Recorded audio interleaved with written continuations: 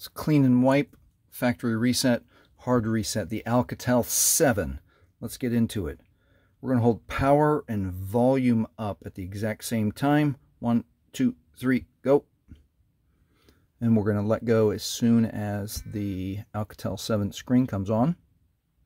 It's going to bring up the broken Android. So we're very quickly, and at the same time, we're going to hold down power and then touch volume up. Hold down power, touch volume up. One, two, three, pop, pop. Oh, let's try again.